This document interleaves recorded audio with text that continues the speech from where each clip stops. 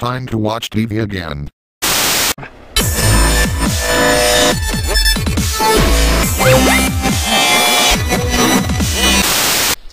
Oh my god! What the heck? Why is he doing all these moves? Double bass. Hey John, there's uh, something I should talk to you about. Sure, what's up my nizzle, frazzle dazzle. I've seen a troubling number of internet posts about a new show that the Hub is going to be airing soon. Do go on. Well, it's uh well, it's kind of like that uh, you know. I see. I'm just hoping that people are overreacting and making a big deal out of it when maybe it won't take off, but uh I guess you never can tell anymore. That you can't. I guess we will just have to wait this out and see if anything happens. Alright, man. I just figured I should tell you. Here, thanks for the warning. I wonder what Carlos thinks of this. Do you really want to know? No, not really.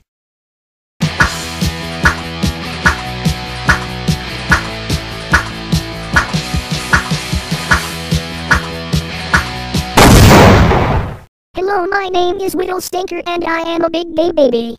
I am also the secret brother of a Nut Hole resident who is the most open-minded nostalgic adult baby ever, just like me. Oh Jesus, I thought I was done dealing with adult babies for a long time. Sorry you closed-minded hater but I'm here to stay. I'm also the creator of the new Littlest Pet Shop show that they are going to air all the time on Hub and will be the most successful show ever with the most open-minded nostalgic fan base ever. If you don't like it you hate all open-minded furries and want to kill all gays and adult babies. Look, I don't know what you want with me. Just leave me alone and go bother someone else.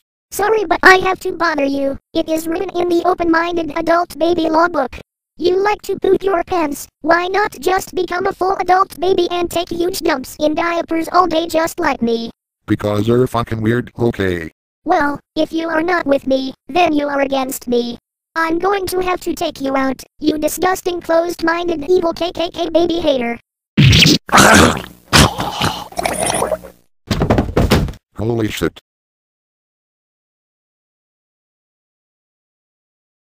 I love the special feature in Bambi Buddy where her mom dies. Stop!